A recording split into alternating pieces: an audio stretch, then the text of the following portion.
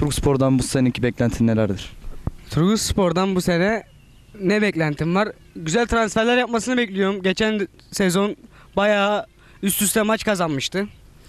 Ee, şimdi bir durumlar var ama yönetim değişmesini bekliyoruz. Yönetim çok kötü. Bunlar, bunun için de bir arkadaşlarla toplanmamız lazım. Konuşmamız lazım. Bu kadar. Başka? Maçlarına gidecek misin? Tabii maçlarına her zaman Turgut Spor benim damarımı kesseler kırmızı siyah, kırmızı siyah akıyor benim damarlarımda kırmızı siyah akıyor. Peki sağ olun teşekkür ederiz. Turgutspor'dan bu seneki beklentin nelerdir? Abi ya şampiyon olsun yeter. Eskisi gibi tribünler dolsun. Yine heyecanlı olsun maçlar. Öyle. Maçlarına gidiyor musun? Evet abi gidiyorum. Peki sağ ol teşekkür ederiz. Turgutspor'dan bu seneki beklentiniz nelerdir? İkinci lige çıksın yeter ya. İkinci lig. Ee, maçlarına gidiyor musunuz? Gitmeme gerek yok. Onlar benim ayağıma geliyor zaten.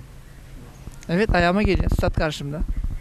Peki sağ ol teşekkür ederiz. Benim bu sene Turgut Spor'dan e, beklentim mutlaka ve kesinlikle şampiyonluk.